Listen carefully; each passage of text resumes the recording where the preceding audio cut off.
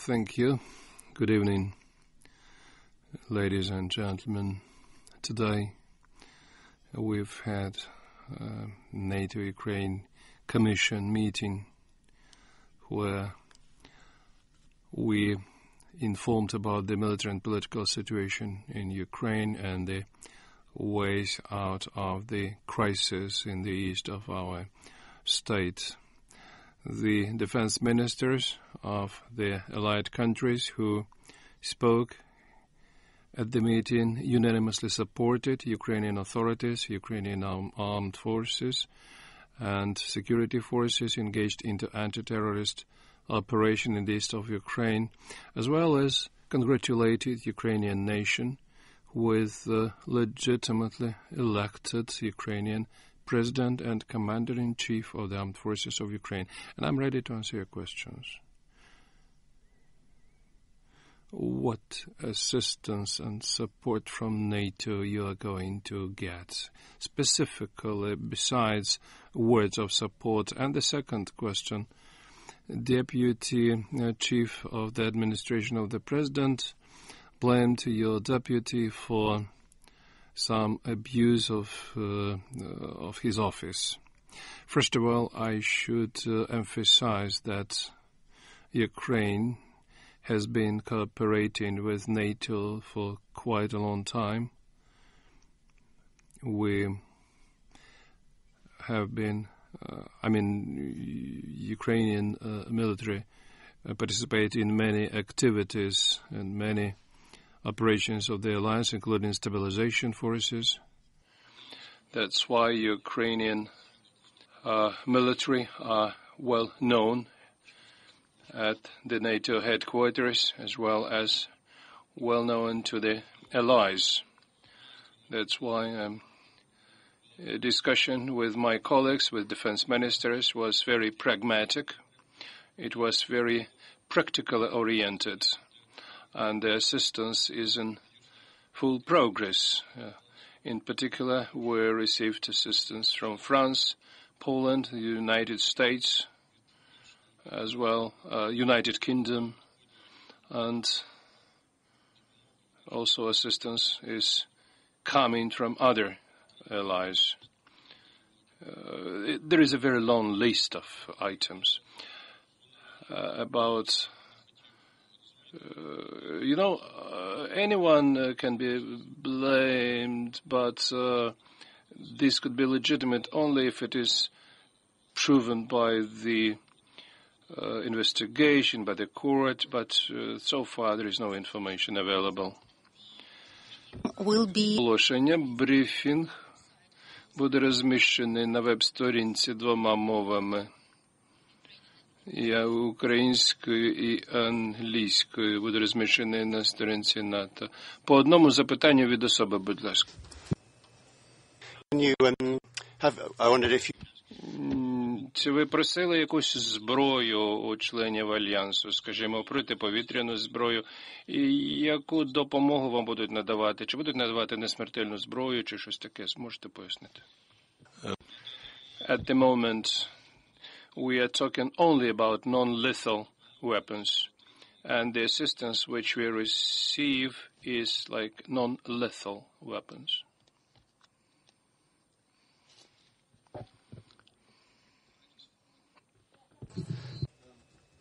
Yes, David Bruns. David Бренс із Reuters. Е, Є інформація про те, що два українські гелікоптери були збиті сепаратистами. Мені цікаво, чи ви знаєте про цю інформацію? Таку інформацію. So far, I haven't got such information. I know that the operation is in progress, uh, but I don't have such information.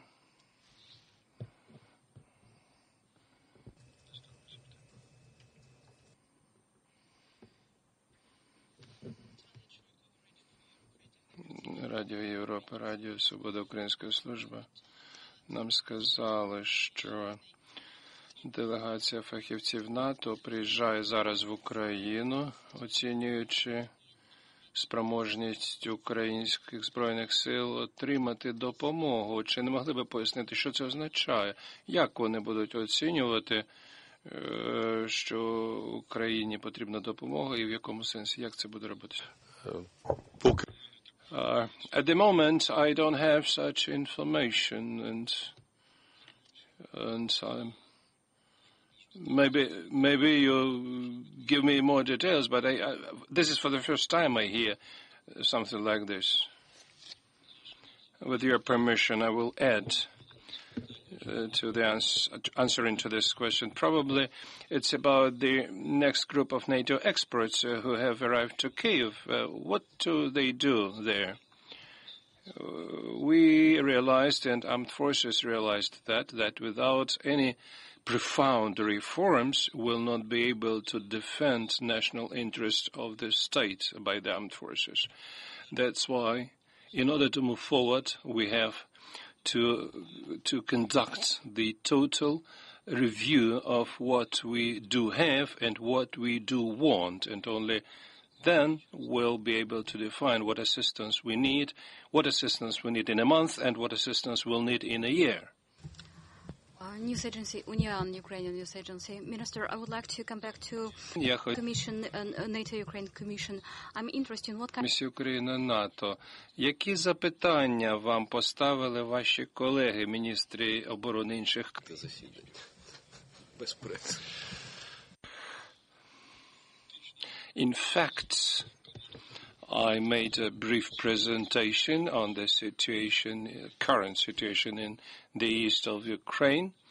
I described the situation, made conclusions on the basis of assessment, and uh, informed uh, colleagues about practical steps taken by the Anti-Terrorist Operation Command aimed at um, extermination of uh, criminal groups in the east of Ukraine, and the reaction of the defense ministers, and 21 ministers spoke um, uh, to the events happening in Ukraine, was uh, in, in a sort of uh, supporting activities and actions of Ukrainian authorities, anti-terrorist operation, and all ministers congratulated Ukrainian nation, Ukrainian armed forces, with legitimately elected president.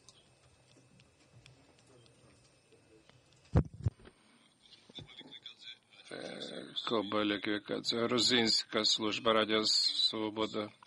Минулого тижня була інформація про чеченців та інших північно-кавказьких бойовиків е, з боку сепаратистів в Луганську, Донецьку, на сході України. Чи ця інформація була доведена? Є докази якісь того, що там є е, терористи з північного Кавказького регіону, можливо, з якихось інших регіонів Росії? До There is quite a lot of evidence, and we see this evidence every day on our national television. Our uh, servicemen uh, uh, get prisoners, and uh, recently you saw interview by Ramzan Kadyrov uh, standing nearby to so-called journalists who were arrested or detained with a man-pad nearby Kramatorsk. This is another proof. Another uh, proof, a huge number of uh, uh, dead bodies which were delivered from Ukraine to the territory of Russian Federation, as well as threats from some um, leaders in Russia that they would revenge, take a revenge for Ukra- Russian soldiers being killed in Ukraine. And there are lots of such cases. They have been documented, and everything will be used during the court litigation, which will be started by our state against those who started uh, this war on its territory, non-declared war. exchange with NATO? And is there Це обмін інформаційною і розвідувальною інформацією від України і НАТО, і чи якась співпраця в сфері розвідки. Я маю на увазі в контексті ситуації на сході України.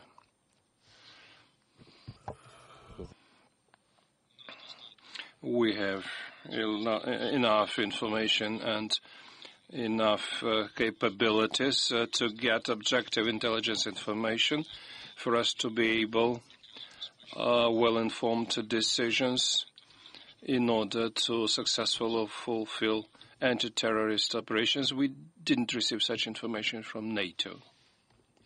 Питання, а ваше бачення, коли можливо What would be your vision when anti-terrorist operation may be completed? And what do you think about introduction of martial law? Um, about uh, completion of the anti-terrorist operation, you should understand that this is quite a complicated operation, which is conducted at the area populated by five million of civilians, civilian residents. And the tragedy and complexity of this operation is caused by the fact by Ukrainian authorities um, ordered the participants of the anti-terrorist operation that no civilian person should suffer as a result of that operation. It is extremely difficult to conduct all these um, operations, and uh, I, I should tell you, the commanders of the anti-terrorist operation give commands to uh, liquidate some groups uh, if they are absolutely sure that there are no hostages or civilians at the place which is subject to the um, to the operation. The authorities Uh, or the, the, the commanders of the anti-terrorist operation define certain stages of the operation. The operation is going according to the plan, and we have all the grounds to say that anti-terrorist operation will be successful. And we will conduct it within the time frame uh, defined by the authorities of the state, fulfilling all the tasks which we face. Martial law, it's also not a prerogative of military forces. This is, should be this should be the political will of the authorities. If they decide this, we will uh, do this. Internet uh, publication Khvela. Yesterday there was a big uh, fight nearby Luhansk. Ukrainian border guards fought with some hundreds of uh, terrorists. And yesterday, Seleznyov declared that anti-terrorist operation provided a lot of assistance, but the fight finished. But this morning there was information that in reality there was no assistance, and the border guards were uh, left um, alone against those terrorists. And now the situation is developing in a way that there is another uh, hit on this uh, border guard uh, point is quite possible. The question is when this mess will come to an end, when your speakers don't tell the truth, or they tell the truth and we don't get enough information. First, I would like you to speak in a more correct manner. Yes, yesterday the Luhansk uh, the Luhansk uh, border guard directorate personnel uh, was repelling not even a storm. They didn't storm the, the territory. They were fighting against just shooting. the, the there was definitely assistance shown by television, by the way, aviation, uh, nine uh, two fighter planes conducted nine sorties to that place. In the during these sorties, they hit the territory around that um, uh, border guard station as well as vehicles uh, coming to assistance of separatists. Uh, there was three trucks hit by uh, these fighters. Also, there were four Mi-24 attack helicopters operating there. What do you mean by the assistance? Uh, I don't understand what you say because the anti-terrorist uh, forces. Uh, first of all, I should say that the border guard uh, unit is surrounded by separatists. Uh, there are only two uh, airborne companies located on the Luhansk airport territory, and they are protecting this territory of the airport. And there was no need to to, to assist them with some other forces because after the strikes which I mentioned, uh, because the strikes were also aimed at checkpoints of uh, bandits on the road Luhansk, Stanich, Luhansk, and these three checkpoints were completely destroyed, which also helped the border guards that's why what you uh, told us uh, about is is not is not uh, true. In fact, as professional military, I can tell you that everything is done is done correctly, and it will lead to a success. A lot of information. There was a lot of information. You see that national guards have their own tasks, and I know about everything which is happening uh, in the in the in the process of anti-terrorist operation, and uh, there was no decision about national guards. Uh, the people uh, spreading rumors about national guard the, the, same way as about the right sector. Uh, they, these rumors are spread special, uh, special to intimidate local population, and nobody sent national guards there. They have different tasks to do. See, Мінерська з Данської агенції новин. Зараз є дві групи спостерігачів ОБСЄ, захоплені на сході України. У Нас не зрозуміло, чи є якийсь контакт з людьми, які захопили ці групи? У вас є якась інформація про це? I'm the head of the defense ministry. Yes, uh, together with the foreign ministry, I we, we get information. I I know in which hotel those people stayed and which route they moved because of when the foreign ministry uh, requested our assistance, we did everything possible to provide for uh, security of OSCE personnel who um, uh, work in this area. But I must tell you that I always present at all uh, meetings, and the authorities of our country told the OSCE authorities that there was no need. Uh, they should not send these people to Donetsk in particular. Unfortunately, OSCE didn't listen to our advice, and they sent their people to that dangerous territory. And we know what was what is the result of that. Brooks Signet. Так, Brooks Signet, James, James Defense Weekly. Як вищий військовий керівник вашої країни, ви знаєте, які військові спроможності є у вашої країни, а яких у вас немає. Не говорячи про нелетальну пропозицію, там нелетальну зброю від Франції, Польщі інших країн, які вам зараз, на вашу думку, негайно потрібні серйозні військові сили і засоби для того, щоб захистити свою країну? Повинен сказати. I must tell you that we today received the most important, the total support of the whole alliance. As I told you, uh, 21 ministers spoke and all supported us. It is very important for us. Our country has uh, necessary capabilities to defend the country. We do have it, and we uh, using this potential to full extent. Yes, we have some problems with some air defense systems, intelligence, and communication equipment.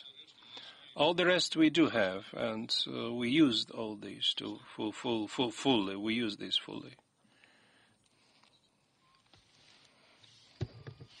Mr. Vadim Vadim military journalist. In mass media, there is information that Russians may use aircraft which they captured in Crimea for provocations.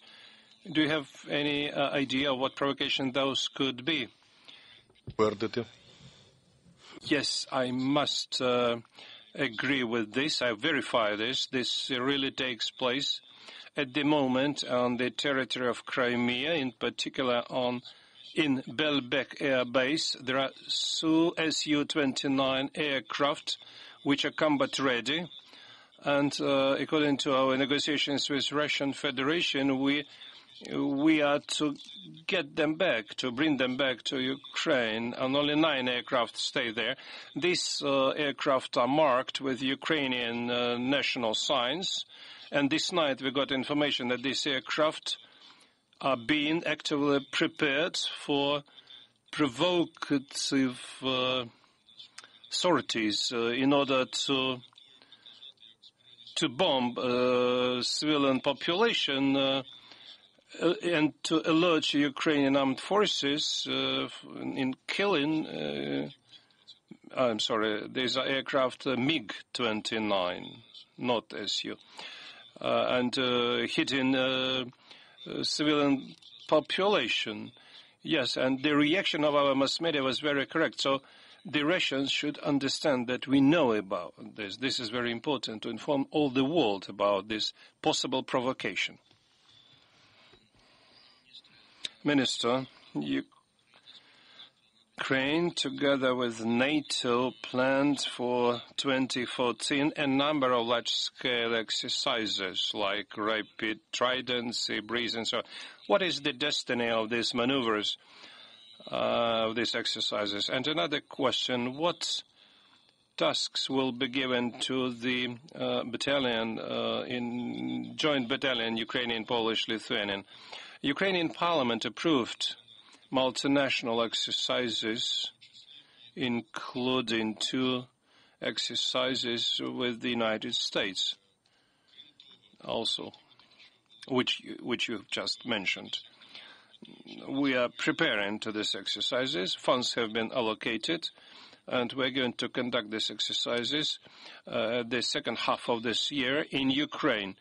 Ukraine has not refused any activity of uh, our um, uh, troops in terms of peacekeeping operations. We are participating in all these activities fully. Uh, you have a you, you have a little bit incorrect information. Yes, there is a resolution by the cabinet of ministers, and I'm to sign an agreement between Ukraine, Poland, uh, and Lithuania on uh, setting up a Ukrainian, Polish, Lithuanian brigade. It is very important step, and I have already talked to my colleagues from Poland and Lithuania, and we agreed that this document is going to be ratified on the 18th of June this year. Uh, Minister, whether during today's meeting you were asked about uh, possibility of a referendum in Ukraine initiated by Timoshenko on accession to NATO. Um, no, there was no such a question asked to me. Um, as uh, acting defense minister of Ukraine, the fact that I am here shows that our country is interested in cooperation with NATO. Definitely. Do, do we understand each other?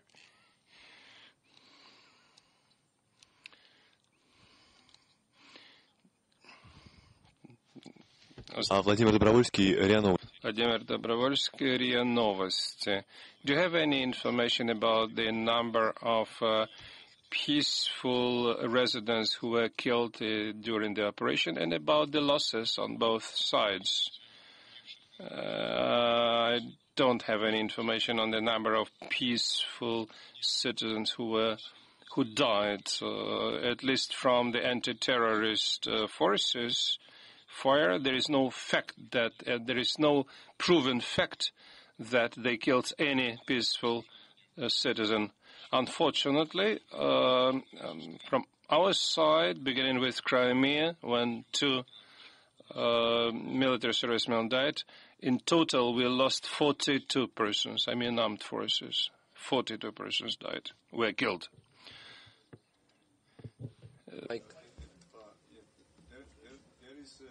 Microphone.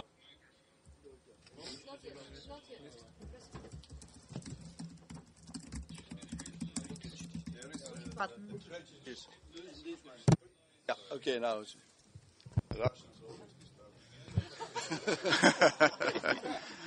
Uh, Mr. Minister, Е, Пане міністр, е, зараз є тенденція в, е, в новому українському уряді, що е, ряд у грузинських успішних реформаторів за, запрошені е, допомагати в плані реформування. Чи ви плануєте запросити грузинських реформаторів е, військових до своєї команди? I respect very much uh, Republic of Georgia very much, and I respect the armed forces of this country. But we have enough our own reformers uh, to fulfill all the tasks. Thank you.